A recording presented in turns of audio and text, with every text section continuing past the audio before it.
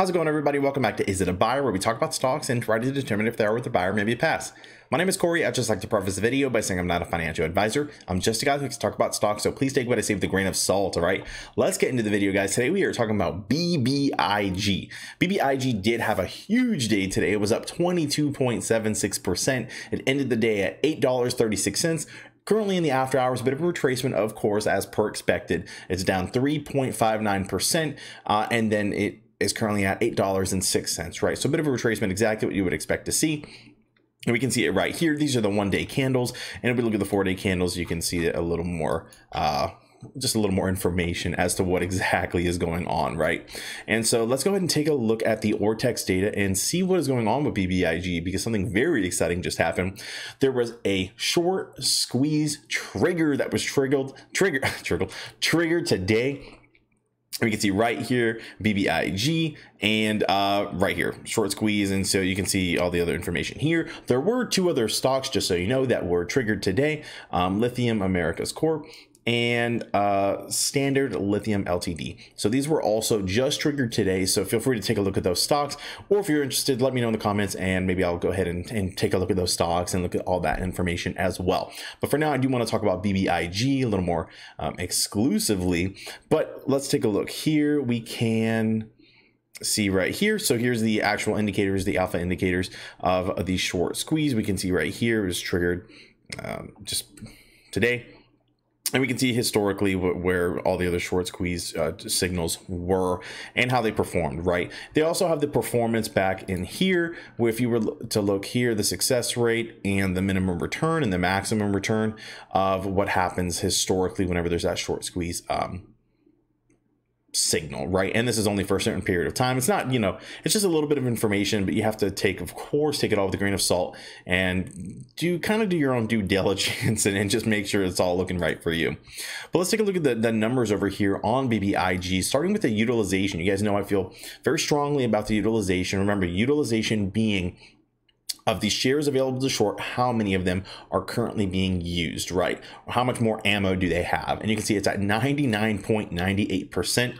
Um, keep in mind that let's let's go back to the candles over here. We'll put on the one day candles. Keep in mind this information is T plus two, meaning it's lagging by two days. But even with that uh, being said, currently with that information, it, it would be for right here. Whenever there was this, this nice little run, I forgot what this percentage was, probably another 20% back here. So it doesn't account for the for yesterday's information as well as today's information. So this information is going to change in about two days. Uh, I'll probably do an update, so stay tuned for that so we can see where BBIG is. Um, full disclosure here, I, I, probably should have mentioned this. I do have a position in this stock. Um, I've had a position for a while. I think when it was on the way down, um, and I'm, I'm very happy with my position. I, I, do have an option, so I do need this to just continue to, to to climb for me to really make some money. But I feel good about my position.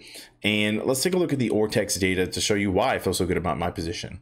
Uh, currently, the utilization is still at 99.98%, which is per- amazing. It really doesn't really get much better than that. These shares on loan is not quite the all-time high, but it's very close. The all-time high being 34 million. We're at 33 million. Again, T plus two, so we'll see where we are in two days from today.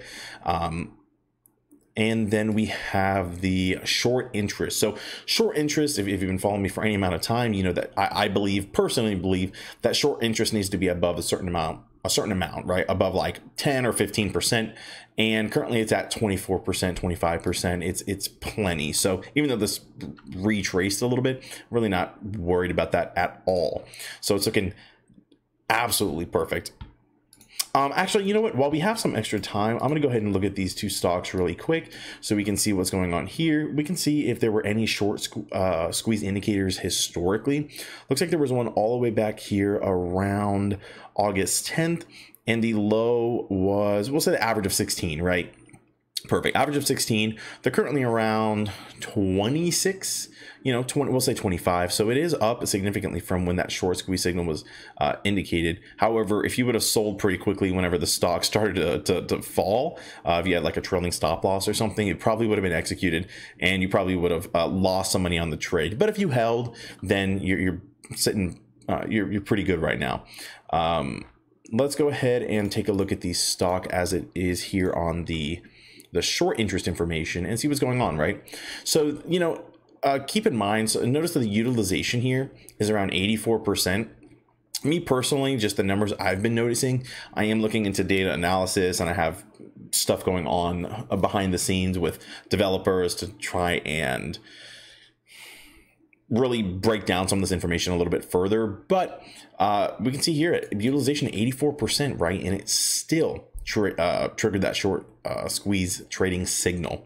Now, again, no one knows if anything's going to come of it. Personally, I'm not going to take a position in in this stock, um, but you know, I figured we'd take a look at the numbers really quick just in case anyone is interested.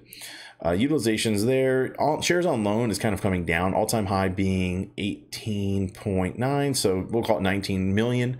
Uh, we're currently at 13 million.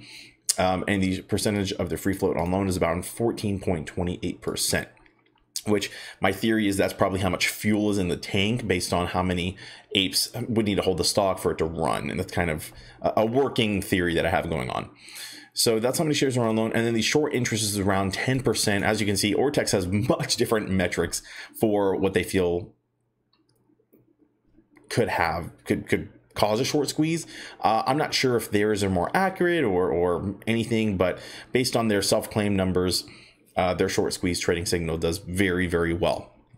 We'll take a quick look at this last one right here, Standard Lithium, and see where they are. We can see this short squeeze trading signal has triggered uh, two other times before, and we can see the, the mean return, and this one is not available. I'm not really sure why that is, but again, it just depends on how long you hold it for.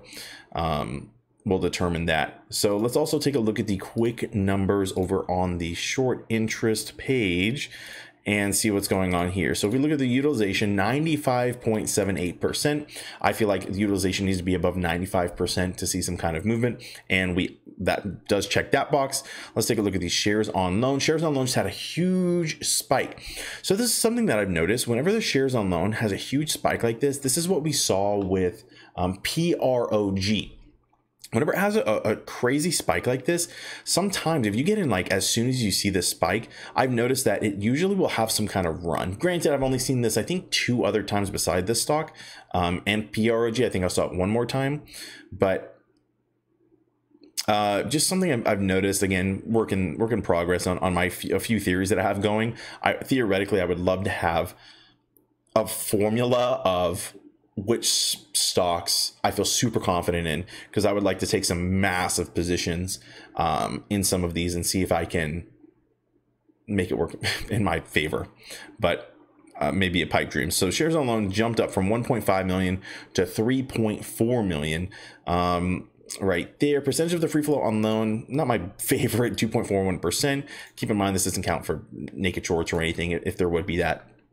Estimated short interest has skyrocketed to you know two percent, which in my opinion is is kind of high, I guess, compared to, compared to other non heavily shorted stocks. But even then, not really my favorite. Not something that I am personally going to be taking a position in.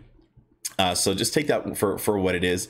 Um, I don't think every every play is going to be a short squeeze or every play is going to be super big returns. But uh, you know, I do want to continue to monitor these and see if anything does come of it. All right, uh, but that's what I have for you guys. I just wanted to bring this to your attention really quick, just in case anybody's curious or trying to make some plays or uh, has a little more of a risk tolerance. Please make sure you're managing your risk and uh, making your own decisions. Uh, don't rely on anyone at all to to to make these decisions decisions for you. Right, uh, but that's what I have for you guys. Thank you so much for taking the time to watch the video. You guys have a fantastic day. Peace.